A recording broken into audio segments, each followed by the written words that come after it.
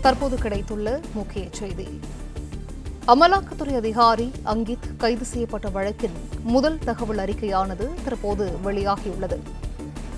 WhatsApp மற்றும் SMS மூலம் அரசு மருத்துவரை கைதான அமலாக்கத்துறை அதிகாரி மிரட்டியிருப்பதாக முதல் தகவல் அறிக்கையில் தெரியவந்துள்ளது. இது குறித்த முழு விவரங்களையும் செய்தியாளர் சரவணன் வழங்க கேட்கலாம். சரவணன் வணக்கம். இந்த முதல் தகவல் அறிக்கையில் என்னென்ன வெளிவந்திருக்கிறது? இது குறித்த முழு விவரங்கள். நேற்று திண்டுக்கல்லில் அமலாக்கத்துறை அதிகாரி கைது செய்யப்பட்ட இந்த வழக்குல லஞ்ச வழக்குல பதிவு செய்யப்பட்ட அதாவது லஞ்ச ஒழிப்புத்துறை பதிவு செய்த முதல் தகவல் அறிக்கை பனிரெண்டு பக்கங்கள் கொண்ட இந்த முதல் தகவல் அறிக்கை வந்து வெளியாகி இருக்கிறது. ஆஹ் அந்த முதல் தகவல் அறிக்கையில பல்வேறு குற்றச்சாட்டுகள் அந்த அமலாக்கத்துறை அதிகாரி மீது குற்றம் சாட்டப்பட்டிருக்கிறது குறிப்பாக ஆஹ் திண்டுக்கல் லஞ்ச ஒழிப்பு துறைக்கு கடந்த முப்பதாம் தேதி இரவு ஒன்பது இருபது மணி அளவுல இந்த அரசு மருத்துவரான சுரேஷ் பாபு என்பவர் அவர் வந்து தகவல் கொடுத்ததாகவும் அதன்படி அவர் கொடுத்த தகவலின் அடிப்படையில விசாரணை மேற்கொண்டு இந்த முதல் தகவல் அறிக்கை பதிவு செய்யப்பட்டிருப்பதாகவும் கூறப்பட்டிருக்கிறது.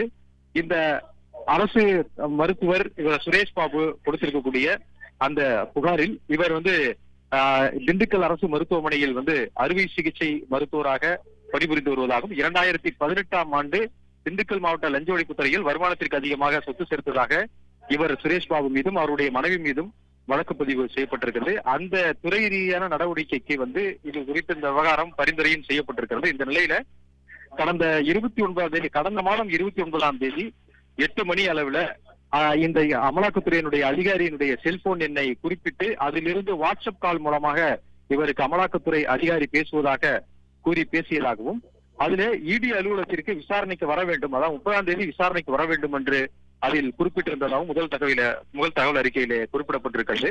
ஏன்னா இந்த விவகாரம் குறித்து அதாவது லஞ்ச ஒழிப்புத்துறை பதிவு செய்த அந்த வழக்குல ஆவணங்களை எடுத்துக்கொண்டு விசாரணைக்கு நேரில் ஆஜராக வேண்டும் என்று அமலாக்கத்துறை அதிகாரி கூறியதாகவும் அதற்கு பிறகு தொடர்ந்து இந்த அமலாக்கத்துறை அதிகாரியான ஹார்திக் என்பவர் தொடர்ந்து வாட்ஸ்அப் கால் மூலமாக இவர் தொடர்ந்து அவரை தொடர்பு கொண்டு பேசியதாகவும் அதற்கு பிறகு இதில் வாட்ஸ்அப் கால் மூலமாகவே பேரம் பேசியதாகவும் அந்த புகாரிலே குறிப்பிடப்பட்டிருக்கிறது. அது முதல் தகவல் அறிக்கையிலும் வந்து பதிவு செய்யப்பட்டிருக்கிறது.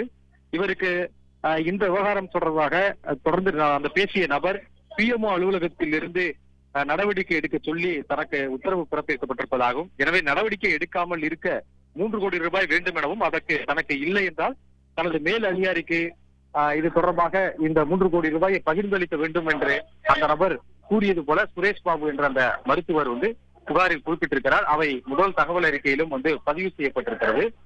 இதன்படி இந்த விவகாரத்தை தான் முதலில் ஒரு இருபது லட்சம் ரூபாய் கொடுத்ததாகவும் தொடர்ந்து மீதம் இருக்கக்கூடிய பணத்தை கேட்டு தொந்தரவு செய்ததால் புகார் அளிப்பதாக அதில் குறிப்பிட்டிருக்கிறார்.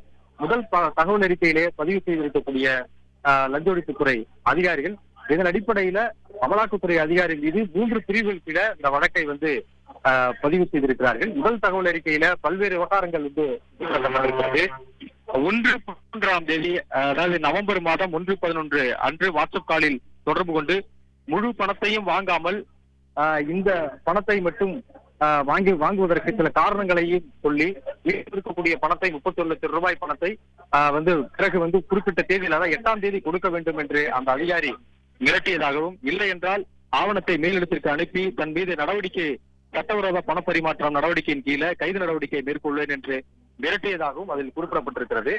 இதுல மொத்தமாக பனிரெண்டு பக்கங்கள் கொண்ட இந்த முதல் தகவல் அறிக்கையில மருத்துவர் சுரேஷ் பாபு கொடுத்த இந்த புகாரின் அடிப்படையில் வழக்கு பதிவு செய்யப்பட்டு நடவடிக்கை எடுக்கப்பட்டிருப்பதாகவும் அந்த அமலாக்கத்துறை அதிகாரியிடம் விசாரணை நடத்தி மேல் நடவடிக்கை அடுத்த கட்ட மேல் நடவடிக்கை மேற்கொள்ளப்படும் என்றும் இந்த முதல் தகவல் அறிக்கையிலே குறிப்பிடப்பட்டிருக்கிறது.